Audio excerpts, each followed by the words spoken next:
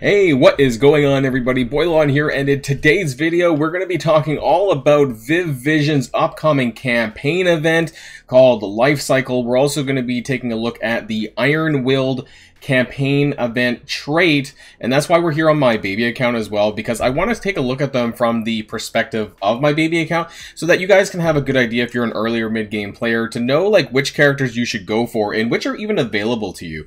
If you're a veteran player you probably don't need much of my help uh, to figure out you know who you're going to use you're probably going to use your best characters but you know hopefully some of this is helpful for others uh, and of course we're going to have the campaign math uh, later in the second half of the video as well. So uh, if you're ready to go, uh, before we start this video though, I do want to give a quick shout out to the sponsor of today's video, Bloodline Heroes of Lithas. Hey everyone, Boilon here to introduce you all to a new free-to-play game which has just come out on both Android and iOS called Bloodlines Heroes of Lithas. Make sure that you click the link in the description below or scan the QR code on the screen to download it now. This game has some very unique gameplay using a card-based RPG system in a fantasy theme and boasts some really stunning graphics. Not only do you collect and heroes and build up your kingdom, but there are just so many characters and races to choose from, all with their own different powers and abilities. So no matter what kind of character that you might want to play, I can assure you that there's something for everyone here, and they all have really super cool designs.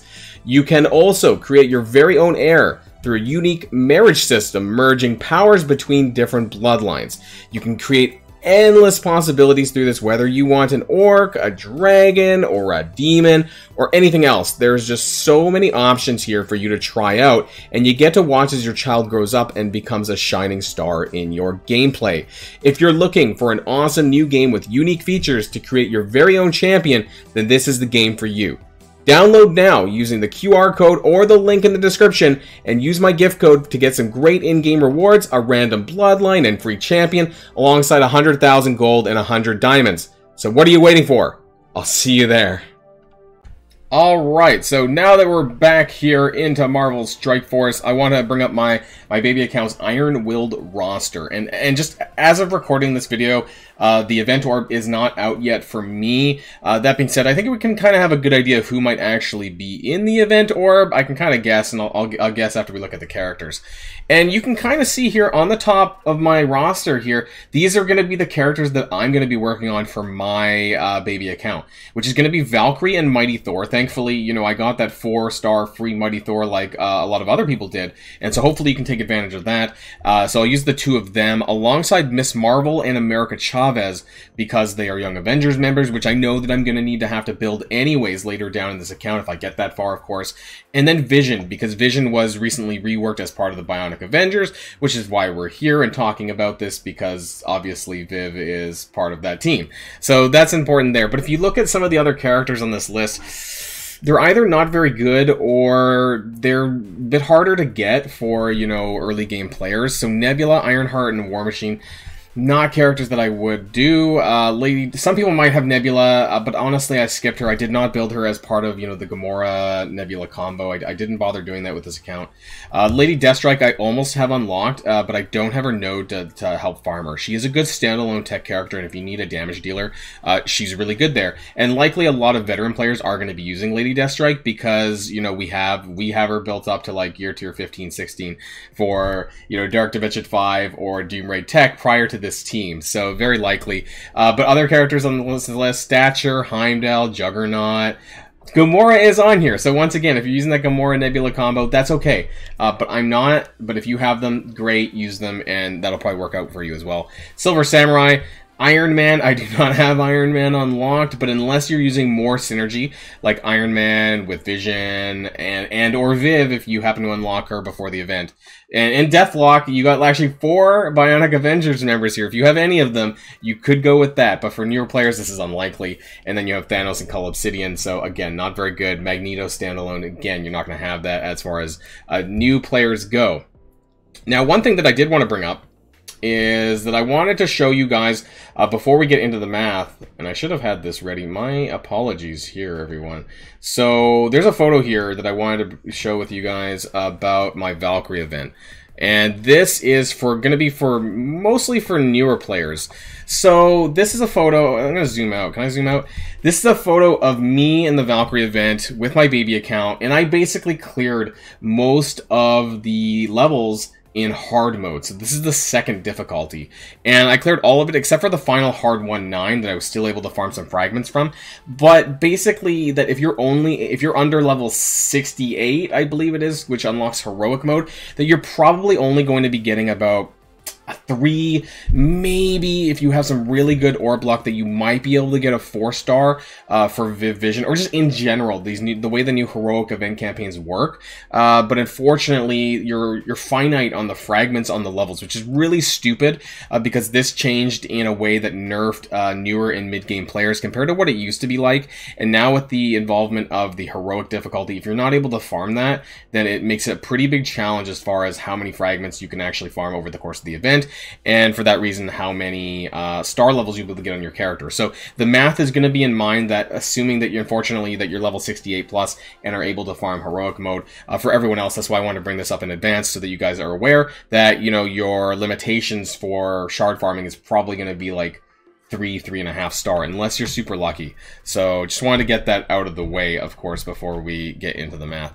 Other than that, as far as characters that I don't think are going to be in the orb for this event, I don't think Valkyrie's going to be in there, and I doubt that Mighty Thor is in there. But I think everyone else should be pretty much up for grabs, other than the Bionic Avengers.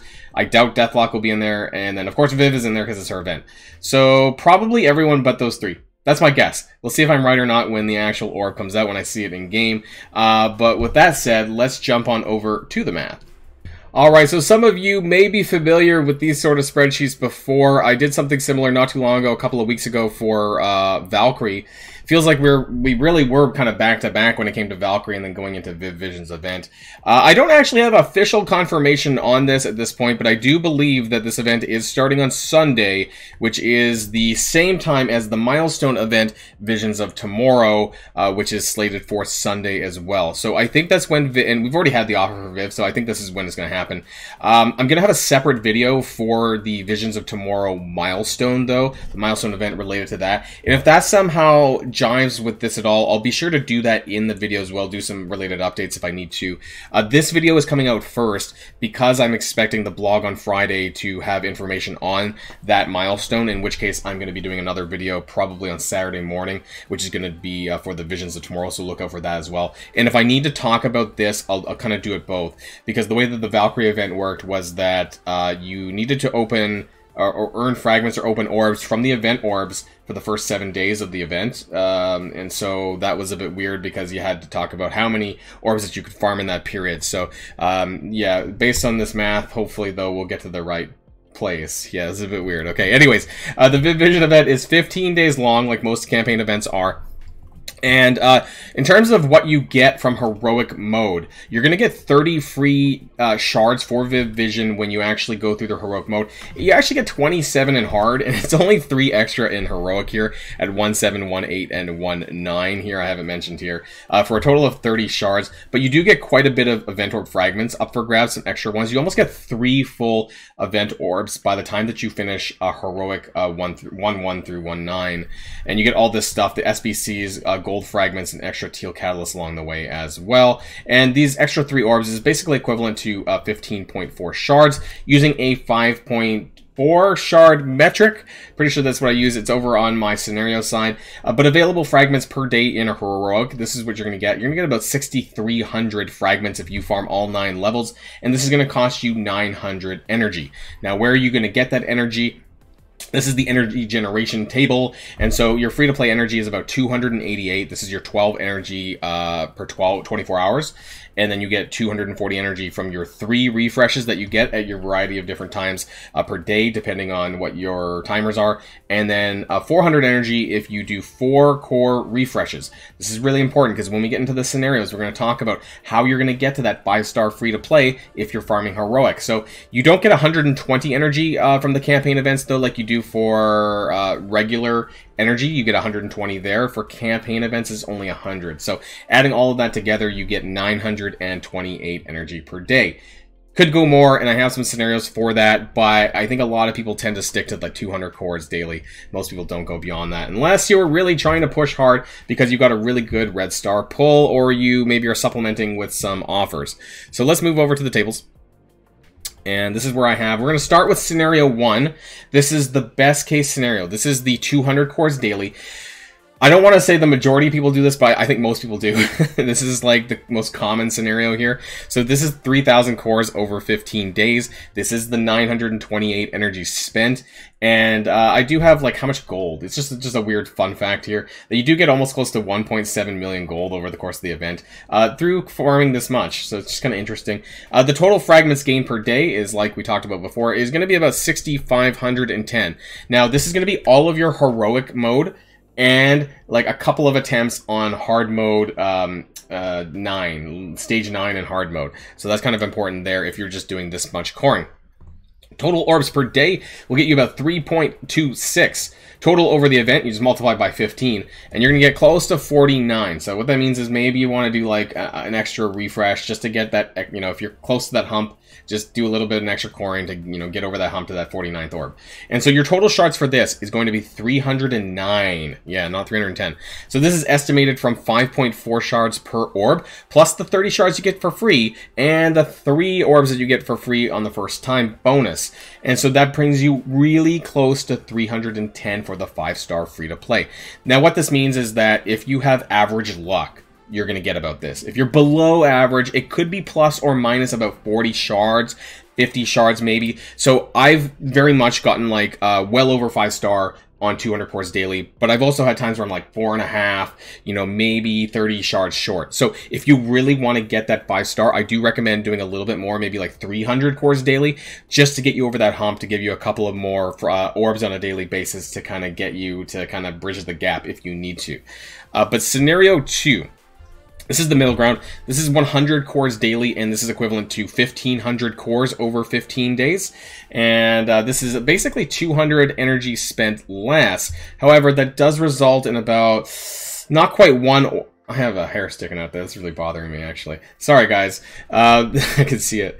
Almost one orb different per day. Not quite, uh, but it does generate. You can see a total of 40, almost 49 orbs up here compared to 38. So it's almost just 100 cores a day is almost equivalent to a difference of, you know, 10 orbs, which is pretty crazy actually. And so that does result in a different number here for your estimated shards, which is going to be about 252. So this is about halfway, just over halfway to five star. So it's still pretty good. And if, if your goal is four star, it's really important to understand what is your goal. Is your goal four star or five star out of the gate. And that's when you should decide, you know, what your coring priority is going to be for the event and, you know, how many cores you're going to spend on Viv Vision. So that's really important there. So um, you could still get five star if you're super, super lucky, but more likely than not, you're probably in like the four and a half star range or four star. Scenario three. This is the worst case. This is with no core refreshing, just your standard energy. Maybe your core broke and you don't want to do this. Um, but, you know, luckily that if you're still farming heroic, you can actually get a decent number of shards still. So um, you can see that it's 400 less energy than scenario 1, and that results in almost 28 orbs over the event rather than up here, which is 49. So it's almost like 20 orbs less than scenario 1. But, you know, with the 5.4, you're still getting about 196. But what this means is that if you have bad luck, you you might not hit 4 star. But if you have good luck or average luck, then you should hit four star no problem. But if you don't want to take that risk, then I definitely recommend, you know, doing a little bit of coring anyways. I think most people should probably do that on campaign event characters, which are, you know, by and large, pretty generous events. Now, I want to talk about Scenario 4 and Scenario 5 really quick. These are lots of cores for the hardcore people, or if you're trying to supplement with maybe purchases to get yourself an extra star rank. Maybe you're trying to push for 6 star, and so you're supplementing purchases with more coring. And so this is going to be 400 cores per day, or 6,000 over 15 days. You're going to get 200 energy more than scenario 1, and this is going to result in about 59 orbs over the course of the event. If you go back to up here to scenario 1, it's about 49, so you can see that that actually results in almost 10 more orbs over the course of the event. And that estimated shards is 366. This is well over 5 star at this point. Um, and even with bad luck, I would say you're probably still likely to get the 5 star as well. But you could use this if you have really good luck to get you that six star. Because keep in mind the difference between five star and six star is 200 shards. And so if you mm, if you spent any, you know, you might be able to add what shards you have right now to this number and see what you need to do in order to get there if six star is something that you're really trying to push for. And then there's scenario five, and I really don't recommend this, but this is what I call lots and lots of cores. This is 600 daily or 9,000 over the course of 15 days. 200 more energy than this uh, scenario here, and it's going to result in almost 10 more orbs as well. And so the estimated shards for here is 417. This is halfway to 6 star on its own. So if you're someone who is trying to push for a 6 star, you're going to be in scenario 4 or scenario 5 in order to bridge the gap, depending on how much money you spent on offers or other cores, which I, I don't really recommend. Uh, but maybe you got some really stellar luck on those orbs. But if you're trying to get to 6 star, this is the way you're going to do it. And, uh, you know, that's going to help you get there. So let me know in the comments down below, which scenario are you going to take? I am most likely taking scenario 1. I may add, you know, an extra 100 core uh, extra, you know, like to 300 daily, a couple of days. Depends on what my luck looks like. But so I'm going to start out with 200 cores because I really want to get that 5 star. But I do want to make sure I get there. So if there's no other ways to get event orbs like the Valkyrie event, because there was uh, quite a few additional event orbs. I don't know if it's going to happen this time around for Viv Vision or not. But of course, I'll be doing a update video on Saturday not specifically on the math, but, well, on the Visions of Tomorrow event milestone math, not necessarily specifically for this. So that's why I wanted to get this out early. I hope that it helps. Let me know what characters, what Iron Willed characters are you planning on using for your characters, for your event, and uh, yeah. I showed you what I'm doing for mine, and I hope all of this helps you. And of course, until next time, stay safe and healthy, and I'll see you all later. Boilon signing out.